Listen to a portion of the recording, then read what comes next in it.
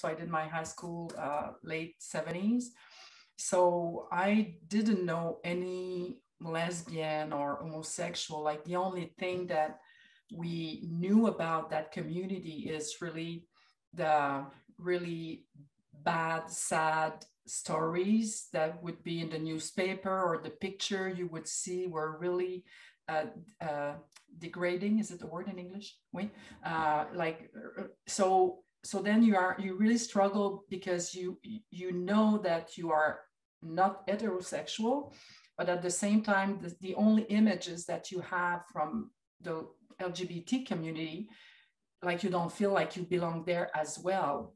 And, and, then so you are really struggling because you're, you're just wondering okay who i am exactly? I i don't belong anywhere so it took a while uh, before i had the chance to meet other lesbian and it was in the sport environment so i guess for my first years in life, it was I didn't belong anywhere, even in the LGBT community. I couldn't fit there, and it took some times. And eventually, it was very slow, like I told you, with some teammates uh, in the sport environment.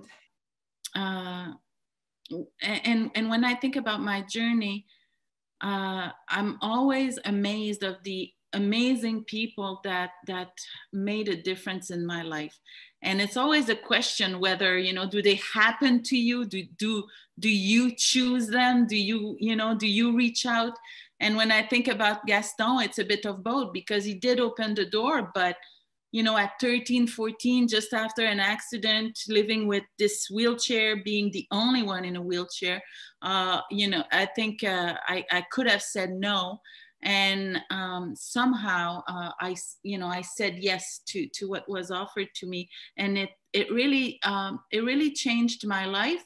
And I know we're going to be talking about belonging, and and this was really my my first experience as a newly person, you know, as a newly person with a disability to get a sense that I could still be belong even if I was in that case the only one in the whole town in a wheelchair.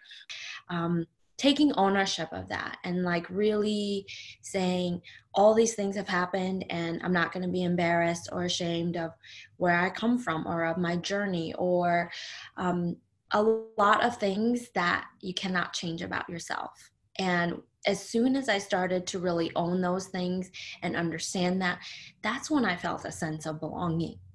And it was because then I um, was secure in those things. And I think that a lot of times you cannot belong with other people or with other groups if you yourself do not feel that sense of security, of worth, and of value. Wow, I had all these opportunities. I had a loving middle class family who was willing to do anything for me. And I still didn't feel like I belonged, but I had all these opportunities. So now let's layer on the complexity of all the challenges we know children face who don't look like me and the privileges that I have and they don't have.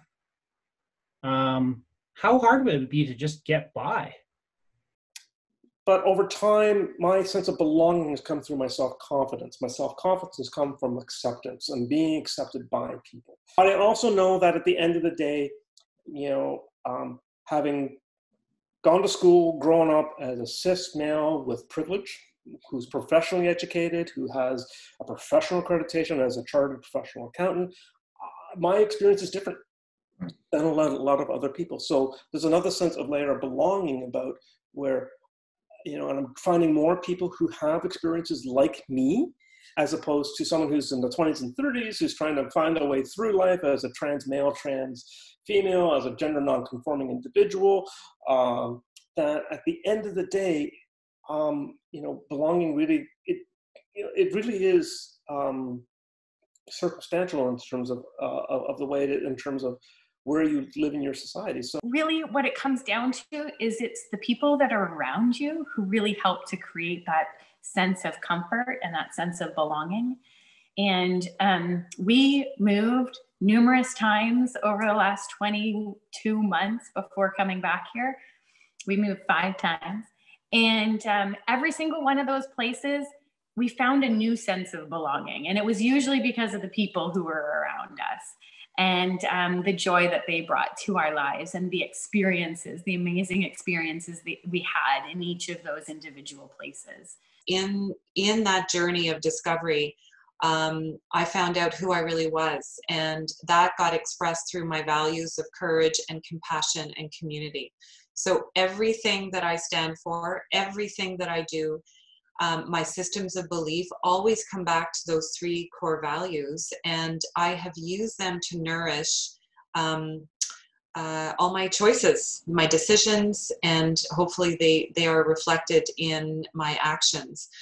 So, what I would offer is, you know, feeling like I belong, feeling like my voice matters, like I can make a difference too, that I can shape um, the and co-create the experience that I'm in is so fundamentally part of who I am